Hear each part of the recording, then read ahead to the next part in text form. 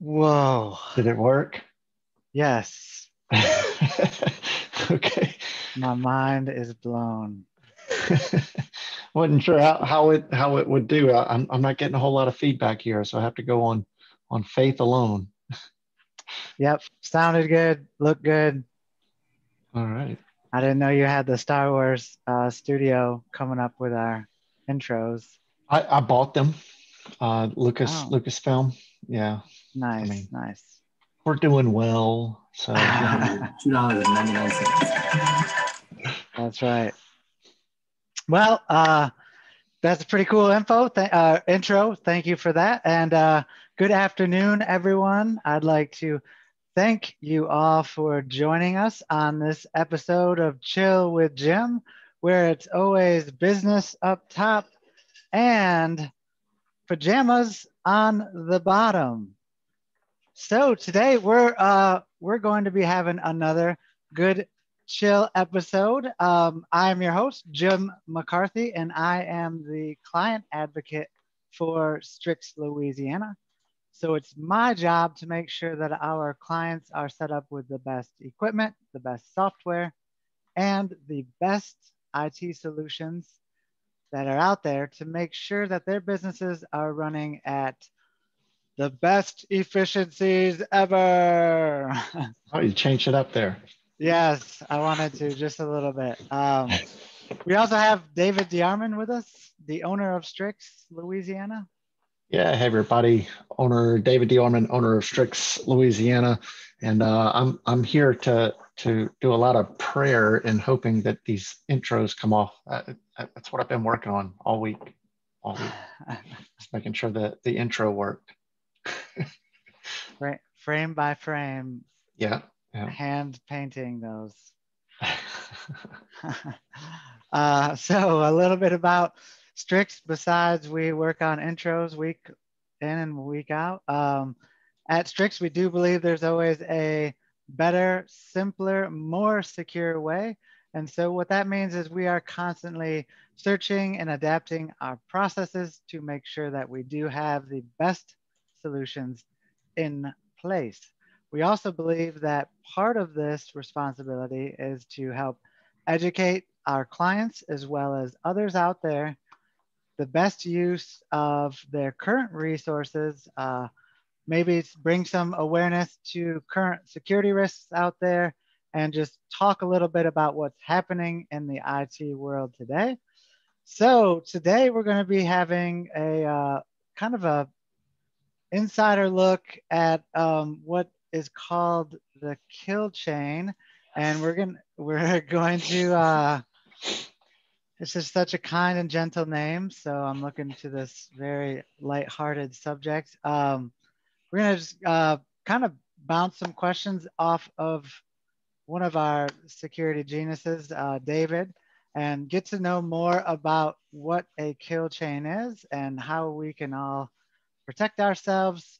So that's the plan for today. And again, thank you everybody for joining me. So, David, what is a kill chain and why is it important for me to know what that's all about? Well, it, it's it's very simply just one of the coolest names for something in security that, that's out there. I mean, you, you've got names like ransomware and phishing, and those are cool. I mean, those, those are those are nice. But kill chain, yeah, that that sounds dangerous. And uh, really, what what the what the kill chain is is is uh, it, it's a pathway. It, it, it's the path that most cyber attacks follow. And and so how does how does a hacker, how does a, a cyber attacker, what, steps do they take in order to uh, accomplish what it is that they're trying to accomplish? And it it um it it really came out of uh, a need in the in the cybersecurity world to to get a an idea of how to protect against cyber attacks and so they they started breaking it down and well here are the phases that that generally a cyber attack follows. And so now we can look at each of those phases and say, well, how do we protect ourselves against each of those phases? How do we recognize when those phases are happening and, and what do we need to do to make sure that those things don't happen? Okay. Okay. So, you know, typically, you know, how does this work? So how, what's that process look like? How's the kill chain initiate and, and what are some of those stages? Yeah, well, it, it, it the the the names and the number of stages kind of vary. Uh, it it depends on uh, who you're talking to, or or maybe how far back in history it goes. Um, the the general idea, if, if you look at kind of the most basic kill chain, uh, it, it's it's recognized in about three phases, three three steps. There's the reconnaissance phase, the infiltration phase where they're getting in, and then the conclusion, whatever whatever it is that the cyber attacker was doing, they, they conclude. Um, so that that's kind of your most basic look at at a kill chain, but you, you see others. Um, the I, I would say the the newer than the newer one than the three had seven or has seven. Uh, again, it starts with reconnaissance. It, it always starts with reconnaissance um, and then getting into weaponization, delivery, exploitation, installation, command and control, and actions and objectives. So that that's the the seven phase version of of kill chain. But really, that that one uh, it, it it almost represents cyber attacks from maybe five to ten years ago. And, okay. and, so that was more the approach uh, five to 10 years ago. What, what we see now and, and what is kind of a, a the most modern, I guess, uh, kill chain phases is eight. And so again, it starts with reconnaissance. So that, that everything, again, it always starts with reconnaissance, but then you get into intrusion, exploitation, privilege escalation, uh, lateral movement, that's a big one. Uh, obfuscation, anti-forensics, that's hiding your tracks. Um, and then denial of service and exfiltration. So again, you know, we, we get into some, some big multi-syllable words in there, but um, the, the, the, the point is, is really, it still gets back to, to those initial three. It's reconnaissance, installation or infiltration, and then conclusion, getting out with whatever it is that, that the cyber attacker wanted to do. Okay, okay. So let's go with the newest eight stage. Can you just give us a little more of a detail um, kind of breakdown of each of those stages so we can under, better understand some of those multi-syllable words that you just threw at us? Yeah, so again, we we started there with reconnaissance, um, and and all of them start with reconnaissance, and and this is this is an, an interesting one. It, it's a very important one, and if you're talking about a a cyber attack where someone uh, is specifically going after a target, so you know we, we've got Harley and I think David here in the near future. They are pen testers, um, and and they're going to be targeting people you know they're they're getting paid to see can they break into something. The first thing they're going to do is start getting a lay of the land of of that of that um, of their target. There is an unbelievable amount of public information out there. Uh, it's called passive reconnaissance where you're just going and, and you're looking for as much information as you can get. You're looking at social media. Uh, you're looking at at dns records um, you're looking at addresses, Google Maps, just to see what's around. Uh, so that that is the reconnaissance phase, and, and it's really just about getting information. You can you can go a little bit deeper as well. You can do active reconnaissance, and, and so those guys probably do that as well, where you may actually call the um, call your target, and and you may just ask some very specific questions uh, you can pretend to be maybe making a, a sales call or or a customer call, and and you're you're asking questions to get what kind of information can I pull. Um, you know, who, who's the CEO? What what do they like to do? Or or where is maybe a vulnerability that that I can pick on? and you haven't done really anything technical yet. It, there's there's no um, there's no programs necessarily that you're running. You're just grabbing information. So that that again that that's kind of the the biggest point right there is is reconnaissance and and there is a ton of time spent on that. And and I mentioned that you know there's a difference between targeting someone and then what what a typical small business is going to experience, where the reconnaissance phase is it, it, it's much more bland. Um, they uh, uh, for for a typical small business cybersecurity attack, it's a blast. And what what the cyber attackers know is that I'm going to blast it out to you know 10,000 people. What I know is that there there's a percentage of them that are going to fit what it is that I'm looking for. So rather than going and, and looking for something specific, you you have something specific as a cyber attacker, and you know that there's going to be a certain percentage of the population that fits that by default, and so you just blast it out, and and whoever uh, whoever fits that description, your attack is going to work. So that's uh that's kind of the the beginning of it, um, the reconnaissance phase. Then you get into well, how are you going to get into the systems?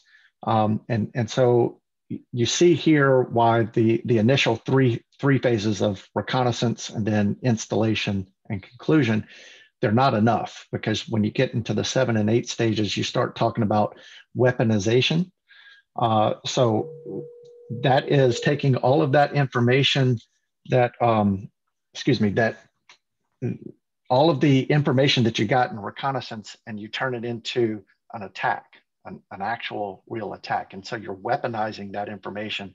Uh, you may you may pick the certain tools that you're going to use, but weaponization is still kind of happening before you actually hit uh, the the target. What you're just you're getting all of that information ready to use in a cyber attack, and then that's when you get that that's when you get into actually breaking into things and um, and you get into the the intrusion side of things delivering what it is that, your your your payload or whatever it may be. Um, and and that's where you get into these other steps that we talked about. There's there's you know we we have uh, delivery exploitation installation on on the seven stages. You have um, exploitation, again, in, intrusion exploitation, privilege escalation, lateral movement. And, and those are getting a little bit more specific on tactics that you would use. And it kind of depends on what is the cyber attacker trying to do. Okay. Um, yeah, so, I, you know, the, each of those, um, what are you, what are you going to see from, from each of those the the cyber attacker is going to try to keep you from seeing as much as possible. Uh, their goal is to get a foothold, and they're they're gonna they're gonna get in and and and I, I like the the um, the lateral movement. So the the privilege escalation and lateral movement that that's a huge piece, especially of what we're seeing today with with ransomware, um, where the attack may start. And this is this is where a, a lot of people don't understand what's happening. An attack may start with the receptionist, and everybody's well, the receptionist, you know that that that person, they don't have access to much data anyway, right? Mm-hmm.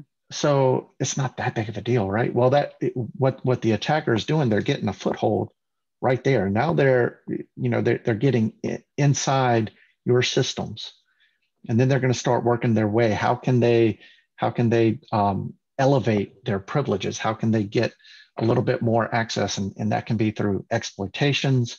Uh, if you're not keeping your systems up to date, they may find a, a, a, server or one of those computers that nobody wants to update because it's got that, that specific piece of, of, uh, of software that only works when you um, it, it, it, it, only works with you know Windows 7 and, and we, we can't update it a hacker's going to find that. They're going to do a little scan from the receptionist computer and they're going to find that. And then they're going to exploit that machine. And that machine has a few more privileges and it's got a, a, a little bit more uh, ability to, to, to see things within the network. And then they'll use that and spread. So they, they get the, the privilege escalation and then the lateral movement where they're moving throughout the network.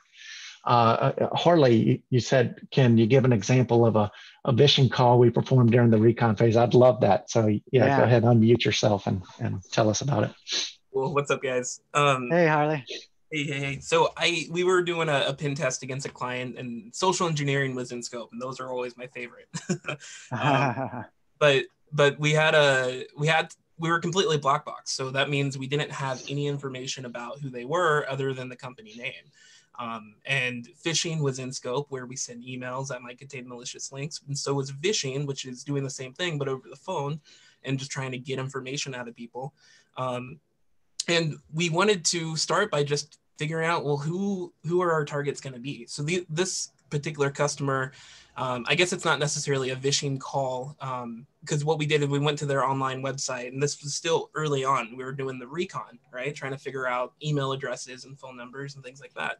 And they had a customer support chat that we could message them because they did a you know it was like a uh, it was an online retailer for like e-commerce. And we, you know, talked about an order or whatever. And at the end of the conversation with a customer support rep, we said, Hey, you did a great job. Can you tell me your manager's name? So that way we nice. can praise and, you know, give you good feedback. And she's like, Oh, sure, here you go. And then we're like, Okay, great. What's a phone number for us to contact them? What's an email address we can reach them at? And all of that information was protected ah. behind, you know, like they didn't make that public. It was really hard for us to find that online.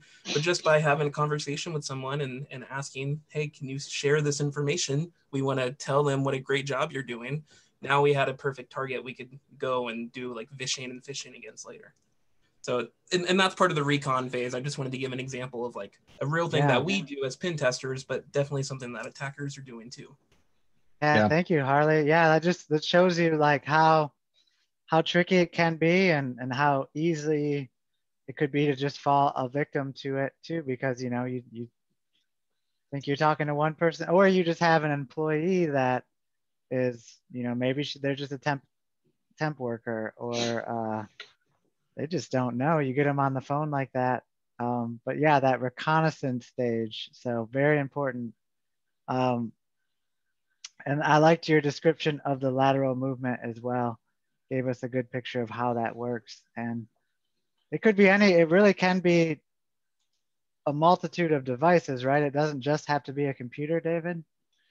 Yeah, well, and and that's that's one of the big threats out there today are the IoT devices, the Internet of Things, because those don't necessarily come with with a whole lot of of security, and but they they're very often internal in the in the network, and that's why most uh, recommendations now are you got to make sure that that your IoT devices are segmented from the from the rest of the network um, because they're they're just they're a gaping hole in security, and and that's going to be used. Uh, uh, an exploit that's available for that IoT device um, will be will be targeted. Um, the exploit will be run, the, the hacker will get some sort of access there and then be able to move into other parts of the network and, and do what it is that they're trying to do, which is, you know, that's getting into the next steps of, of the kill chain where, where they're actually performing action. And this is where you, you see some difference between uh, the, the seven stage version of kill chain, which is command and control, which still happens um, with like with, with ransomware. People don't understand that that that ransomware is just it's really one piece, and and there's all these steps that happen before. Uh, they they use multiple programs, TrickBot, Emotet, to to get into the machine to move laterally, and then to command and control. So they gain some sort of control over the machine, um, which can include knocking other people out. So that's when that's when you get into we mentioned denial of service earlier. Right. You, you, you may uh, it, it, there's some very fun stories where um, they'll they'll knock somebody off of a machine. Uh, you know they'll they'll they'll do something that is going to then require an admin to come onto that machine and do something. And what they've done, they, they've loaded a keylogger. So let's say the receptionist computer, they they break something, uh, but they've loaded a, a keylogger and it's, it's running quietly in the background. Now, every keystroke is going to be logged and sent back to the hacker, the um, the the admin comes in. Oh, I know how to fix this. This is easy to fix. I'll just uh, put in my admin password. It just it needs that to run, and okay, that is done. And uh, yeah, you're fixed. Good to go. All right. Well, now the hacker has has admin privileges. They they have the password for admin. Um, that that's a uh, a, a newer suggestion, at, at least to me. I, would say in the last you know uh, six to, to, to 12 months that has come out that is almost a necessity is that every single computer uh, on a network needs to have a unique admin username and password. And you know, it, it, for for an MSP, for a service provider, for any company, it was almost always you, you, you use the same admin username and password. You protect it, but you use it throughout. Um, just just to be able to to manage the computers easier well that that behavior is picked on now uh, if you use that same information over and over a hacker will get it once and now they've got access to everything so uh, another another change in in the way that that service providers and and IT uh, service departments have to manage their their networks. Yeah, that's a great point. And so what David was talking about earlier is is with the Internet of Things. Those are just devices, phones, tablets that people are going to bring to work or have on the network. And what he's talking about is separating them. So you would have maybe if you have a Wi-Fi, you set up the Wi-Fi to have its own network where that's where anything that's um, a phone, a tablet, it logs onto that network. It's separate from all of the other things that are on the business network, which is very important to do because you do not want, you know, everybody's phone, everybody's, you know, tablet is basically, you know, an, an iPad is basically a computer. So it's the same thing. It's just um, people don't think they need to protect them if they're on the, the network. Oh, it's just my iPad. I don't need to protect it. So, what yeah, are some? Uh, go ahead. Go, go ahead, Harley. Yeah, you, you, said you have so many, so many stories. I, I imagine uh, in all your time as an MSP and as a as a pen tester, you um, you got some good stuff for us. Well, I definitely wanted to share about a local admin thing, you know, password reuse, that thing when you were talking about that. But then when Jim started talking about separating your networks, the, I, this is one of my favorite stories. This was before I even became a pen tester. I was just learning about it. Um, I went on vacation and I was staying in an Airbnb in Southern Oregon. And the Airbnb host, he basically was a small business. It was a small business where he did like printing services. And then attached to that, he had this loft. And that's what he rented out as the Airbnb. Um, and he was being really generous, you know, like letting his guests from Airbnb come in and connect to Wi-Fi, and he even gave them an Ethernet cable to connect straight into a wired connection on the network. Um, but what I found is, you know, I, I, get there, I'm supposed to be on vacation, but I see this, like, I, I, gotta, I gotta take a look. so, so I plug into the network, and immediately I realize, wow, I'm not the only device on this network.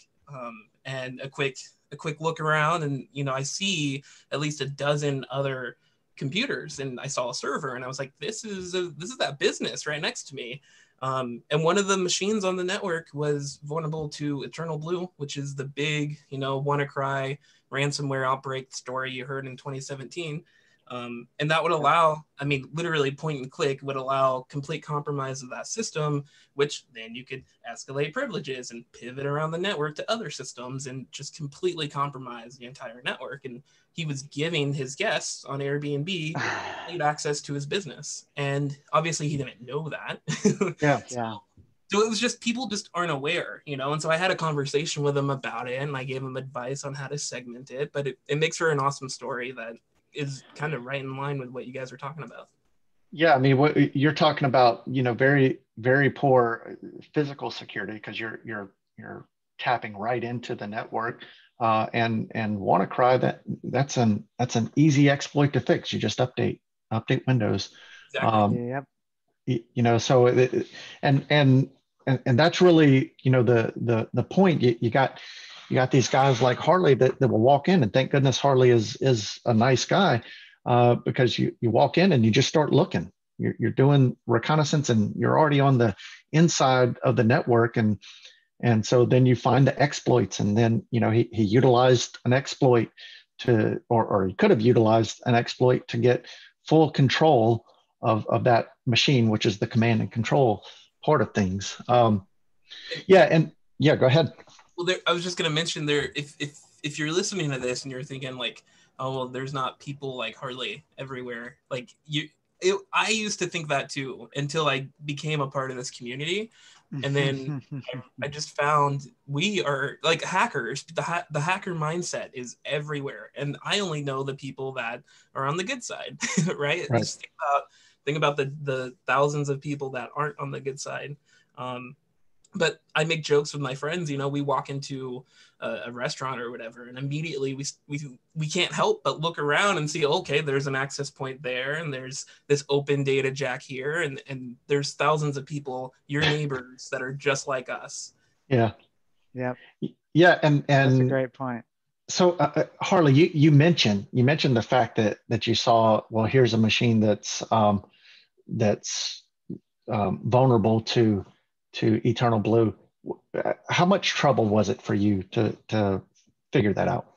You can literally Google how to scan machine Eternal Blue, and and a 14 year old you know could figure it out in in five minutes. There's there's tools that are available that make it literally like i mentioned point and click like you don't have to understand what's going on you don't have to know what is actually happening um, but anybody who's curious can can take you know 30 minutes or whatever to to download the tool and run it and it's that simple. I, I, I love the fact that you mentioned a 14 year old can do it because it, it, it's at that age those teenagers and it, they're curious they're smart and they're um, they like to break things you know they they like to push the limits. yeah push the limits. They, they want to see what they can do and and they may not even be uh, trying to steal anything from you. It, right. it may just they, they want to see what they can figure out, and you know they they don't know the consequences of what they do, and they end up trashing your entire network just because you know eh, they got in and they see yeah, what they that, can do. That was me. That was me in like 2011. I was a 14 year old kid that came across a phishing site and was immediately intrigued, and I was like, you can clone a website. What? right. how, does, how, does, this work? And I spent the next two weeks googling, you know, how how to make phishing websites, and I probably just destroyed my computer, downloading all kinds of malware. But but no, I mean that that's how I got started, and so yeah, it's there's people out there like me for sure. Yep. Yep now that we scared everybody. No, no. Um, there's people on the good side and the bad side, but yeah, no, it is funny it, um, to think about like that because I'm sure there are quite a few people that you know just oh let me see, I'm here, let me see what the network looks like. Um, but you know so separating the networks one way. Um, you mentioned patch management. Like, what are some of the other security measures that can stop the kill chain. I know there's like so they talk about some five proposed methods an organization can can take. Yeah, well, uh, you know, most of it is a, a, lot of people think, okay, well, I'll, I'll, I'll do antivirus, right? Well, the, the thing about antivirus is in, in what we just talked about, antivirus will start triggering off at about stage four, you know, the, the uh, phase phase four all of these things have already happened before antivirus ever kicks off. Antivirus is it, it's a good security system. Uh, the thing about security systems is they let you know once someone is already in your network or already in whatever it is that you're protecting.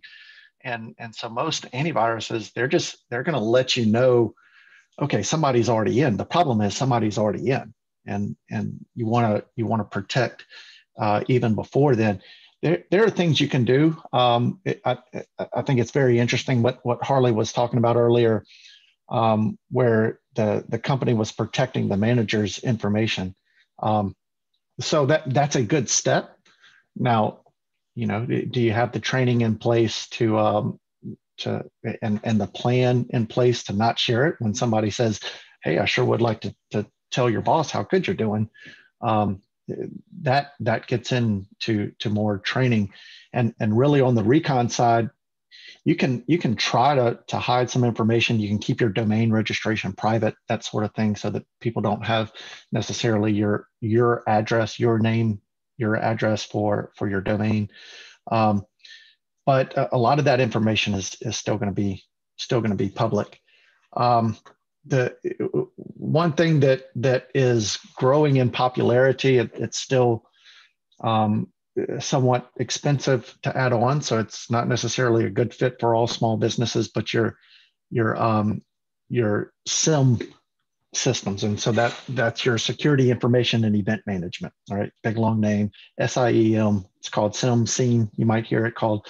Um, that is really just a, a, it's a log aggregator and it takes all of the information that's coming in because that that's what you have to to see. If you want to catch a hacker in the early stages the point is seeing all of those small behaviors they're they're a needle in a haystack okay? If it's mixed in with with it's like where's waldo? Waldo's hard to find because it's just mixed in with everybody else. How, how do you find waldo? Well that's these these attacks and, and what a SIEM does is it, it gets all of the logs and then a computer looks at it and it knows what, what an attack look, it knows what Waldo looks like. And so it can pick out Waldo very, very quickly. Um, and, and so those systems are, are very important. And if you have sensitive data, that the new CMMC requirements, if you get up to a certain maturity level, you have to have uh, something like this in place to, to protect yourself. Um, so that you know that that's that's an important step.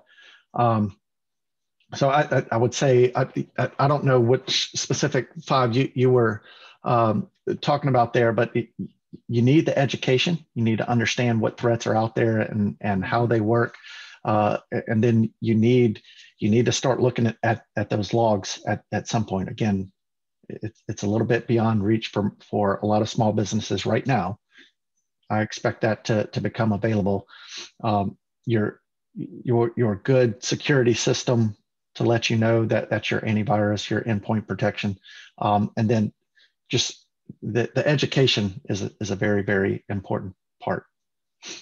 Yeah, yeah, it's a very important part because when we look at the numbers, it's always highly, highly in favor of human error every time that an attack happens and is successful Usually it's because one of us humans open the door for them. Um, no, the, the five methods I was talking about was is basically what you broke down in a different way, but to, you know, detect, so you determine the attempts, you want to scan, you want to penetrate, look for them, where they're coming from. So that's where the SIEM would come in. It's looking for all that. Then you deny the attackers, disrupt, you know, intercept any of the communications, degrade, so create measures that will limit the effectiveness of the attack and then deceive. You want to mislead a attacker to uh, provide false information. Yeah, the, the honeypots. The honeypots. Those are so. When I first learned what a honeypot was, I was like, what? People do that? That's so cool. So, can you describe what a honeypot is for us? Yeah, well, it, it, back in back in the day, before we had a bunch of chemicals to to kill uh, bugs with, people would would put a pot of honey out, and flies are attracted to the honey. Right? They, they um, it, flies are a nuisance, um, but they like sweet things. They like the sugar, so they go to the honey and they go in. Well, they get stuck in the honey, and they they die there in the honey. So now you have a I guess a big bowl of honey and flies and cook that up later or something. I don't know. Um, but it, it, the the same thing is is true in the cybersecurity world where you you create just this this beautiful looking uh, uh, attack vector for for the uh, for the hacker and you know oh well it look I, I've run my my scanning tool to see what exploits this this machine has and I see one and I'm going to go after it and you go after it. Well, that was put there specifically to get a hacker to go after it.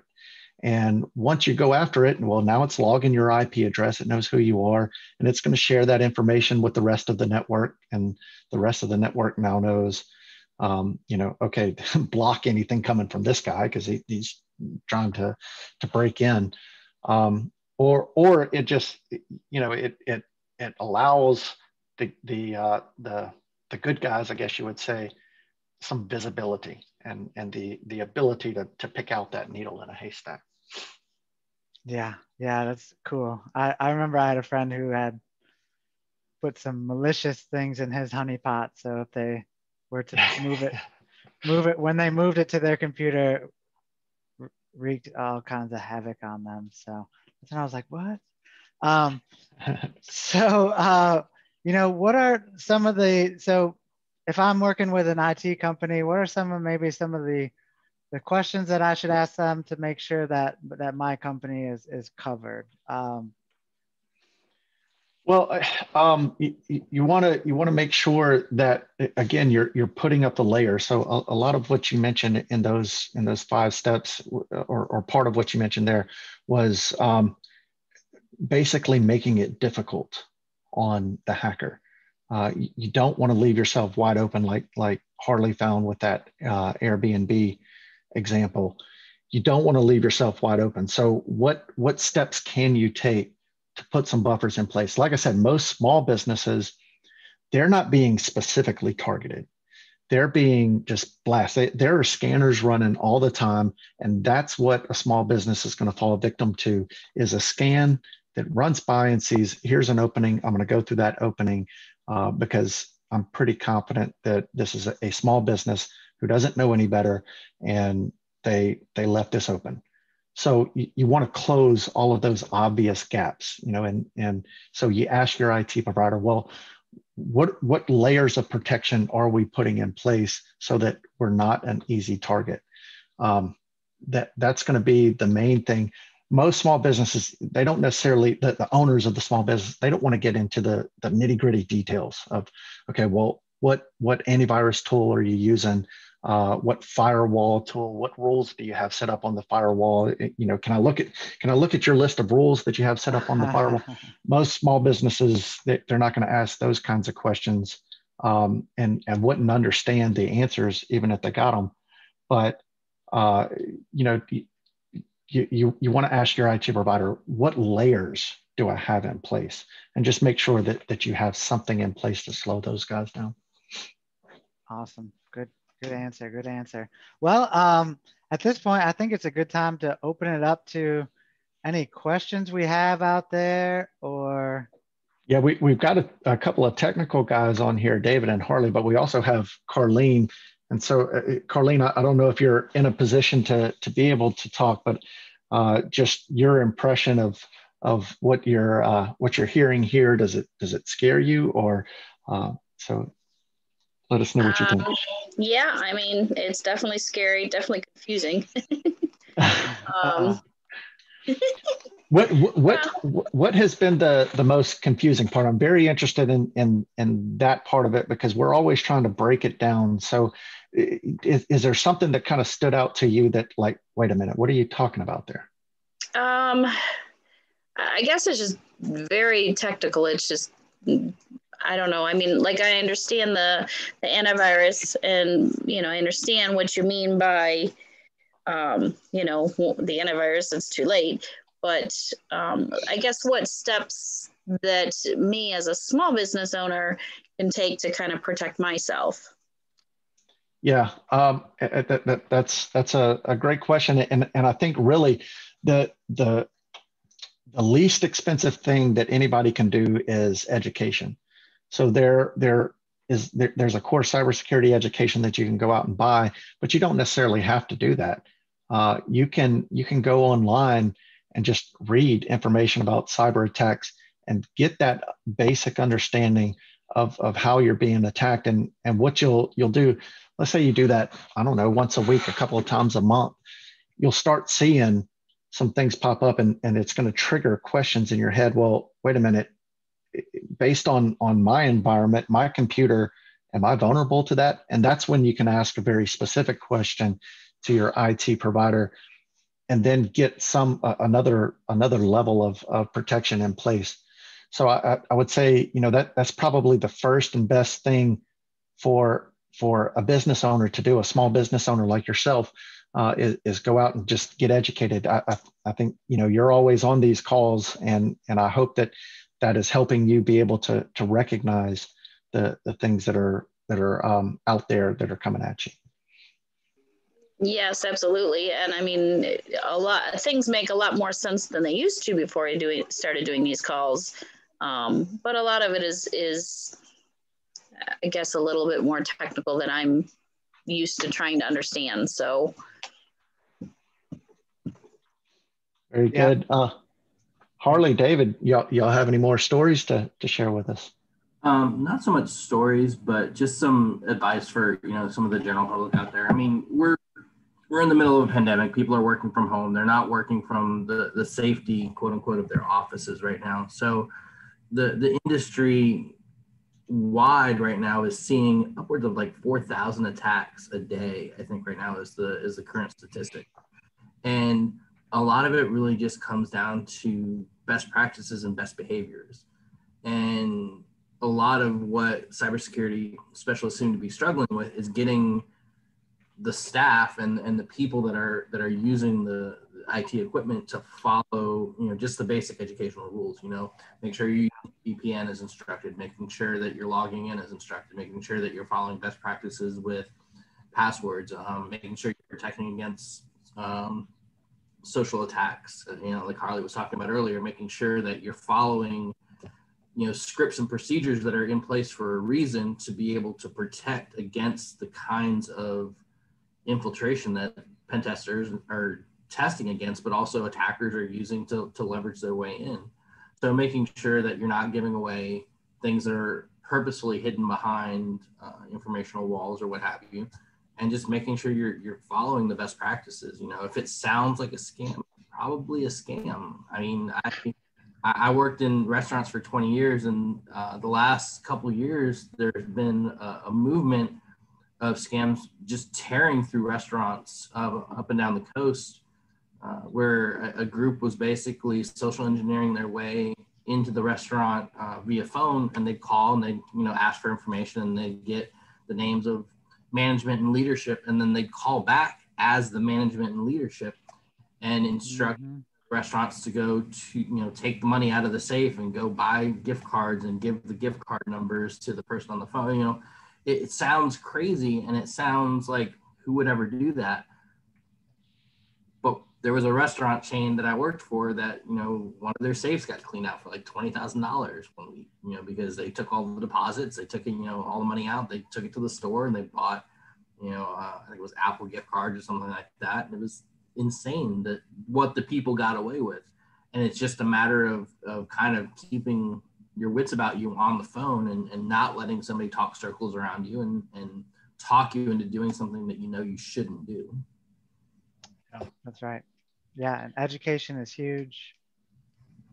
Um, yeah, uh, David, I, I like that you that you mention about you know asking uh, calling and, and asking for the name of the manager because we we talked earlier about the the you know getting into the receptionist computer and a lot of time the, a lot of times the receptionist has emails back and forth to managers to the ceo and that's you know that's what's used very often by the hackers to to do some reconnaissance within the network and know who that ceo is and, and that, you know you, well, you, you talked about the gift card move. thing how fast they move is ridiculous. We had one night where I got a call from a gentleman who said he was with the local police department. They were investigating um, a credit card fraud, and they needed to look at the video.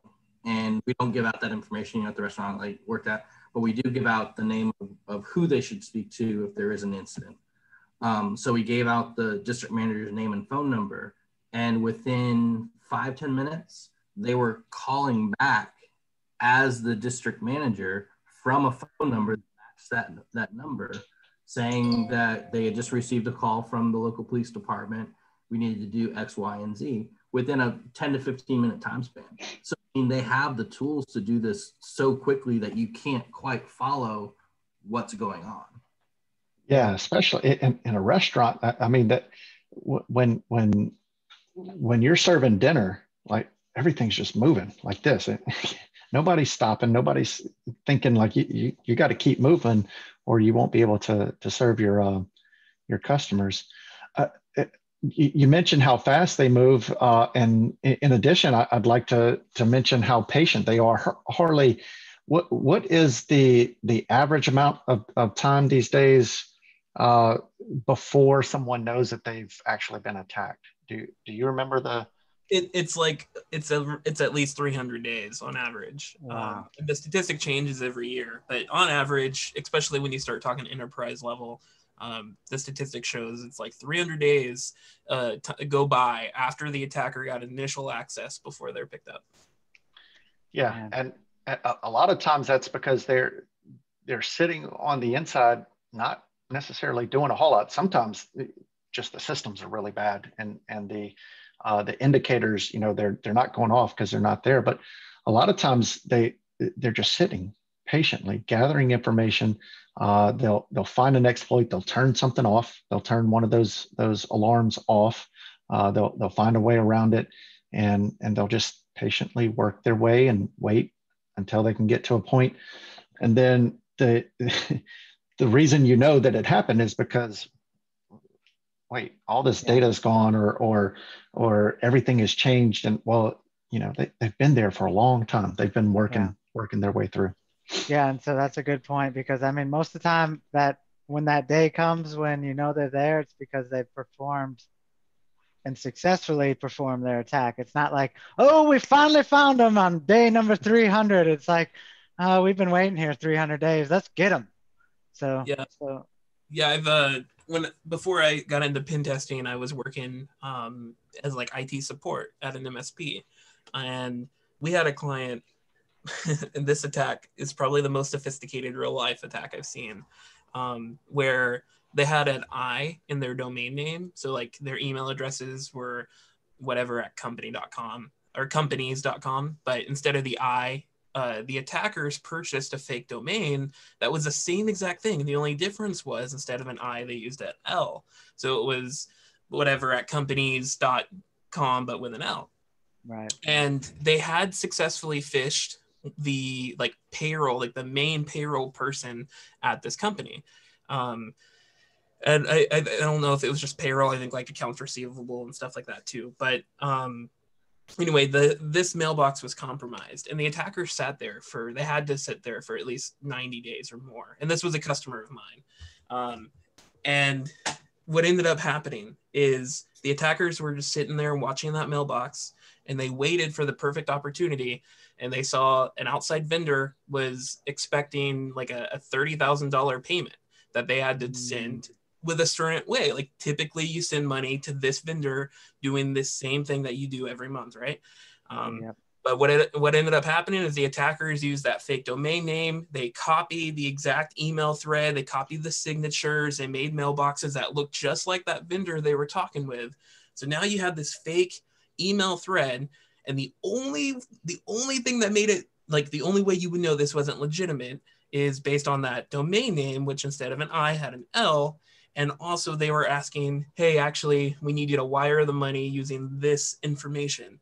And the, the, the, my client saw that. And if she was just properly trained to know, hey, this is fishy, I shouldn't be doing this, right. um, then she probably would have caught it.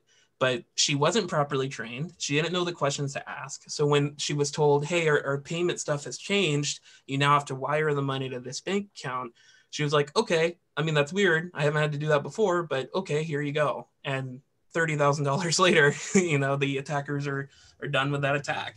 Um, and they were in and out before we even knew they were there. Yeah. We have, we had one like that too, but we caught it, they caught it beforehand. They even made a receipt with like letterhead on it and hand wrote a note, hand wrote an invoice yeah, that's crazy. So, Carlene, the question you had was like, what do I do? Like, this is all too technical for me. I think the I think the answer is you find somebody who understands it you know and i mean you really have two options you can you can sit down and you can learn and understand it all yourself but if you're running a business you probably don't have the time for that so then you've got to find someone that you can trust who knows about this stuff and stays on it so you you can ask them the questions and they can get you the answers. And I love David's answer about staying somewhat, you know, maybe spend a couple hours a week or whatever learning about the right questions to ask, because then you can go to that consultant that you use and you can say, hey, so I, I learned about this vulnerability. Can you just make sure that I'm covered from it?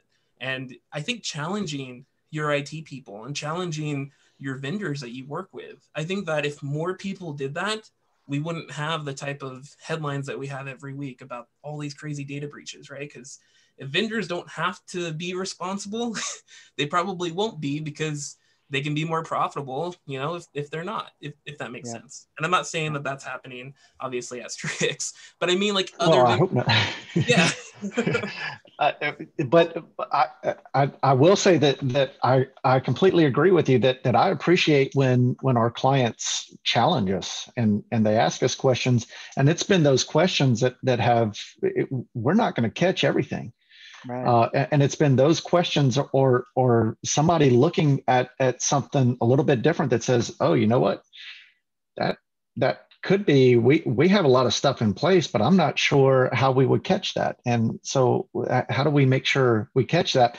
And and what what ends up happening is we'll take that piece of information, and now we're able to use it on on everybody that we take care of. And, and so, you know, Carlene, based on a question that you asked, you become a superhero for all of our clients because you challenged us to, to think and, and look at something and, and we didn't have that answer. So I, I appreciate that. And, and Harley, to your point about, you know, IT providers out there, um, I, I was having a conversation yesterday with a, with a colleague about the, there are far too many IT companies out there that are grossly negligent. Mm. And if if you as the business owner are not asking questions, do not do not assume that your IT provider is taking care of you and and blocking everything that's out there because it's it, it, you, there there are just way too many grossly negligent IT companies out there to to feel comfortable with that ask the questions, look at your bill. If, if you're not paying a little bit more for IT than, than you thought you should, if you're trying to get the, the cheap version of IT, the, the way that you're paying for that is with some rather large gaping holes, probably. So um, just uh, that that's Harley, you, you, mentioned that, and it's happened to come up a, a few times this week. Um, so I, I'm, I'm, I appreciate you mentioning that. Yes, yes, and great point about passing it forward, passing it on. You know, um, if they we get reached out to about like, hey, we saw this article, are we covered by this? We, I, I read ten hours a day, but I don't I don't get everything. And uh, so it'd be it, it's great when with things are brought to our attention. It's even better when we get to explain when someone approaches you like that you get to explain maybe maybe we've had that in place for a while and they just never knew it. So then we get to explain which is always fun because they they're at a point where they want to know what that service is that you're doing. We might have told them before and they're just like well whatever you know? Um, but that's that's always a cool point. But yeah if we as every company involved if we see something and pass it on um, or, you know, if QuickBooks sends something to one of our clients saying, hey, there's a known security thing and they pass it on to us, that's, that's great. I mean, we, we really, really love that. Um, David did write something in here. Yeah, it, are there any good uh, resources for small and medium businesses to keep up with general IT security trends that are considered best practices? We have quite a few, and and I'm uh, am going to struggle to remember exactly what they are because I'm being put on the spot here. But we we have RSS feeds that are running that gather information, and um, so Info Security Magazine is one that we keep an eye on. Um, dark reading, darkreading.com. That that's an interesting one. Some of the things get get fairly technical with darkreading.com, but um, not not all of it is, and so you, you can see some some good stuff there. Uh, KnowBe4, So that that's, that's a good one. Yeah, blog.knowbe4.com. That's a great one. They they are built here. Let me I'll, I'll put that one in here. Uh, yeah, Krebs Krebs on security, right? Yeah, that that's uh, that's in the news these days. Uh, yeah, longtime cybersecurity expert there, Krebs. Uh, let's see, blogs, or is it blog or blogs? Blog. See, I'm gonna. That, that's how easy it is to trick you. You just change it to blogs, and all of a sudden, everybody ends up on a phishing site at knowbe4.com. That that's a a really good one there. Um, it it it breaks things down. Carlene, I, I would say as a as a business owner, that would be one of the best places to start because it it um, it's specifically built to keep it at more of a layman's level so that you can recognize things. Um, yeah, so that that that's a, a couple of them there. Yeah. Um, there there are more. If you just do a, a search for um, small business cybersecurity on Google, you'll find plenty of outlets out there. Uh, Sophos has a lot of good information. S O P H O S. Uh, they they're they're very um, educational. Yep, Harley, good to see you. So uh, thank thank you for stopping by and sharing your stories with us. All right. Well, we are kind of getting to the end here. I, I didn't see anything pop up on the Facebook. Um, the Facebook. uh, so, David, um, I mean, what before we head out, what's a couple approaches that you think where um, you think Strix stands out with the approach they take with their clients? I, I, I think really the the biggest thing is that we we take that that education part and we don't assume that just because we are a technology company that do this day in and day out, that we know what's going on. Uh, we spend a lot of time reading and looking and finding the holes. Um, I, I, can be I can be quite paranoid, and that that serves us well in this incident because I, I see someone like, oh crap, you know, we got we got to protect ourselves here and protect our clients and that, that that's a, a huge hole so I, I think that's that's one of the things when, when you're in the weeds of this day in and day out you can get a false sense of security that you're seeing the stuff that's out there and you've got the protections and they those protections expire so fast these days that um, you know we we stay up to date and and I like these chill with Jims because they they they also force us to yeah. to stay up to date on things that are going on. Um, and and so I, I think that that stands out for us. Awesome. Well, thank you, thank you, thank you for joining us uh, during and joining us on the Zoom side of things, Carlene and David, Bryn. We appreciate you guys coming on, and all those out there in Facebook watching. We do appreciate all of the support, and um, you know, appreciate and any of these questions. All the feedback is really amazing for us because it gives us good content. But then all these questions we get, they really help us kind of keep thinking outside of the box and push us to really find the best way because you know when we get asked certain questions it might stir up those you know gears where we we think of something even better. So it's really good to have the engaging conversation back and forth. Um, David, what do we have going on next week? Well, next week, I mean, obviously, it's it's the day before Turkey Day, day before okay. Thanksgiving. So we've got to talk about Thanksgiving. Um, we are going to be doing some some tech trivia. So, Carlene, come back. You, you've been. This is where it pays off. Okay, you you've been sitting here listening. Uh, we're going to do some some tech trivia, maybe maybe some Thanksgiving trivia in there as well. And whoever wins wins the trivia. I, I don't I don't know if we've decided how you win, but whoever wins the trivia, they're going to get a, uh, a, a gift card to their favorite restaurant.